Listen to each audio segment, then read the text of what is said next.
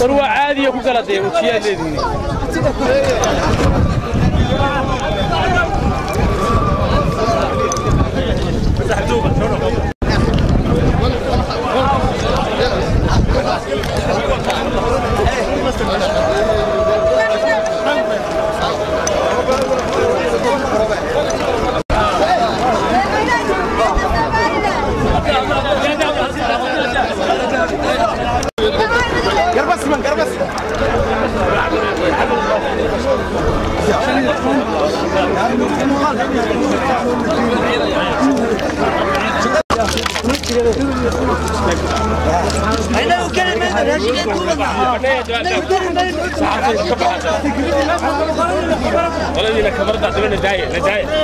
waxaan ku joognaa dhallinyarada gobolka sol gaar ahaan anoo ku hadlaya afka isboortiga gobolka sol waxaan soo dhoweynaynaa madaxweyne muuse bixi cabdi dhallinyarada annagoo ah kooxda s t g faadka gobolka sool haddaan ku hadlayno maanta waxaan soo dhoweynaynaa madaxweyne iyo wafdigii la socotay.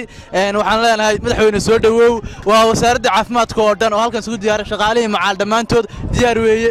Waxaan leenahay madaxweyne ku soo dhowow gobolkaagii oo ku soo dhoweynaa wasaaradda caafimaadka codkii wasaaradda caafimaadka dhammaanteed neeras hadday tahay laab hadday tahay midwayfari hadday tahay dhakhaatiir hadday tahay waannu soo dhowaynaynaa. Insha allah sidii khayr leh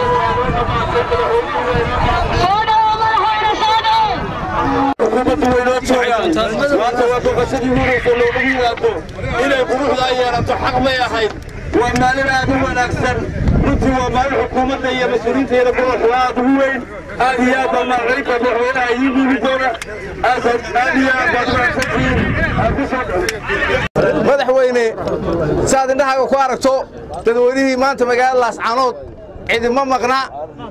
Waa dadweyne way soo wada baxeen. Waxaa lagu soo dhowaynayaa gacmo furan.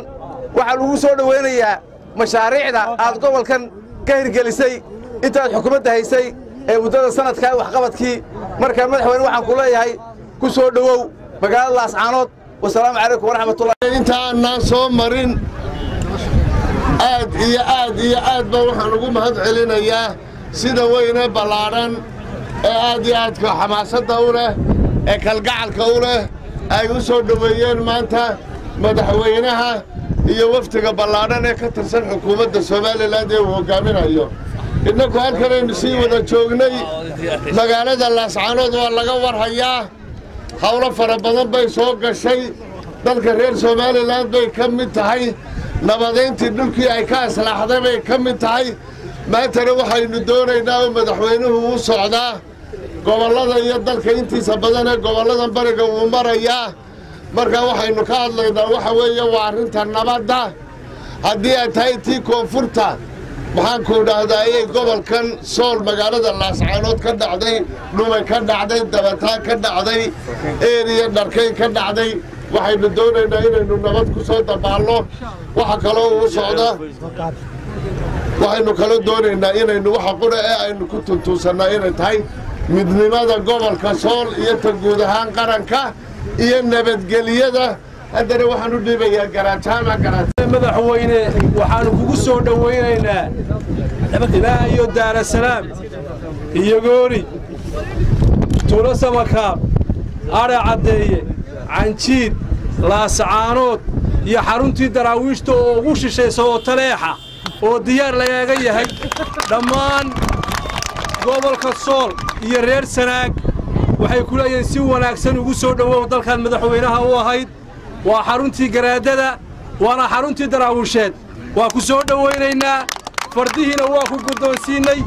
Wixii hadalana insha allah caawa ayaynu ummadda oo dhan iyo deegaankaba aan la hadli doontaa. Soo dhowow madaxweyne qalbi diiran dalkaad madaxweynaha ka ahayd muxaafad iyo mucaarad. Labadaba madaxweyne aad u tahay hore aad u sheegtay halkana maanta waa wada joogaan. Warsoo ma aha warsoma wada joogtaan? Waa kaan madaxweynihiin wasalaamu calaykum. Dadweynaha gobolka sool ilaa intii aanu soo galay soo dhoweynta iyo kalgacalka iweyseensay ragga horweyna waa idinka mahadnaqaya.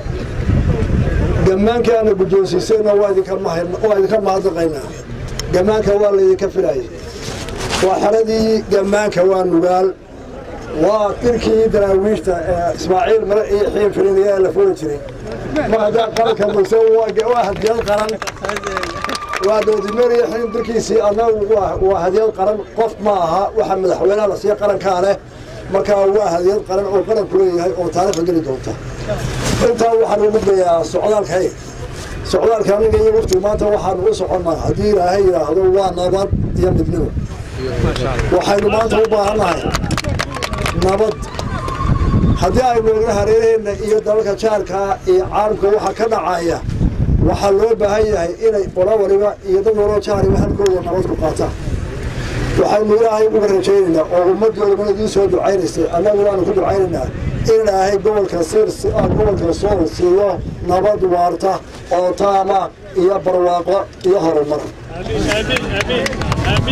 Gobolka sool taariikhda soomaaliya oo dhan ayuu xagga hore kaga yaalaa dhibaatooyinka maanta haysta abaaraha raagay colaadaha jiitamay ilaahay baynu ka baryaynaa inuu ka qaado oo gobolka sool somalilan iyo soomaaliya dhan iyo geeskaba uu ka noqdo gobollada hormoodka ah. Si aa dhaqanka u ahaan jirtay taana magan baa laydinka yidhi.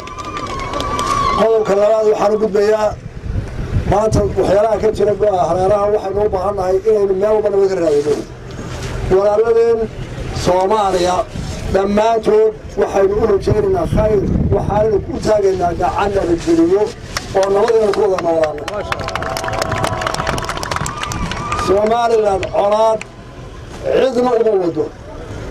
Beryo hore dagaalo dhacay dhinac walba ha waa in laga gudbaa oo loo gudbaa horumar iyo iskaashi iyo walaaltinimo iyo is-aami soomaaliya waxaynu nahay haddaynu somalilan waa puntland colaada dhex maray dhinacnaba kuwa imika joogaa waa wax lagu dhammayn karo saacada gudahood geed hoostii oon gaalina u soo gurman karin cidina isku afraafay walaalayaal isku diini mayno waxaa sagaalka bilsan oo ah waa xadkii ingiriiska iyo waa xadkii reeraha.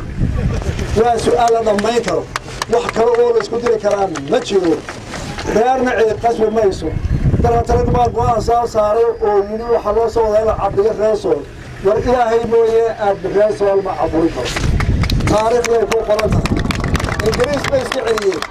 Talyaani bay iska celiyeen. Soomaali dhan bay u markaa nin kale waa la caburinayaa meel buu kala dhacaya sool waxaa looga yadaa walaal maxaynu yeelnaa abaaraha u aragtay soo noqnoqonaya dhulkii la yaqaanay ee kuwaanka farda ku noolaan jireen. ee taariikhda goobta markaad akhriyo nimcada ahaa maanta waa abaar gabaaxiira sanadkan ilaahay mahadii roobku wuu inoo wanaagsanaa laakiin ka dambe wuxuu noqonaya garan mayo waxaynu u baahannahay caqli aan isu dayno is-aaminaa dalka oo dhana iyo inaynu horumar samayno oynu duruufaha nagu weerarsan. Iska celino oynu la dagaalano dhibaatada deegaanka lagu keenayo. Walaalayaal ku horumari mayno qolku kala aargoorsi meel ku gaari mayno aargoosi wiil baa ku dhinta wiil kuma dhasho dadka walaalaha ee dagaaladu dhex socdaan iyagu may go'aansaga dagaalamaan waa amar ilaahay waa masiibo ku timi waa tii waxaan noolayn ka nool aanu tarin. Waxaa kaloo nuu gacmaha u furay shalay halkan waxaa joogay oo gacanta geliyey ina wiilwaal oo ka yimid jigjiga. Qof kastoo islaama iyo nin kastoo soomaaliya oo nabad ka dhalinaya gacmaha loo qaban nabad taakuleen galaan dad dhimanaya iyo markay nafta hay walaalayaal waxaynu ka hormarayaan nafta muranka gobollada iyo degmooyin xoodeeyo waa dhamayna xagta alfadaheenna degme heblaayo barkeed ka qodi maysid waan ka qodayaa waa deegaankaygii war ilaahay waan wajibaan dee degme meydaan ku heshin karin. Maxaan ragga tagaleyn waa masiibo caqliga naga dhacday. Anigu waxaa ka mid ah raggii ugu horreeya xabadaha iyo jabhadaha iyo wararka galay waxaan leeyahay socday oo socdoo nabad iyo walaal wax dhaama waayey nabadaasaan loo wadaa ilaahay waxaan uga baryaa nabad taama. Ilaahay soo waxaan uga baryaa barwaaqo. Abaaraha ilaahay inuu naga jiriyo dadka beerkooda inuu buucaad isu mariyo in khalkhalka iyo colaadaha iyo kala shakiga iyo magaalooyinka dhibaatada haysta ilaahay ka saaro. Raggana waxaan leeyahay waar dumarkii carruurteenna ka diranahay ilayaga dagaalka ma gaane carruurtana mustaqbalkooda rag wayanaan baabinin raggeenna waa weyne dumarkii carruurta naxdinta iyo goblanka iyo geeridanka daynu aynu hor soo wasalaamu calaykum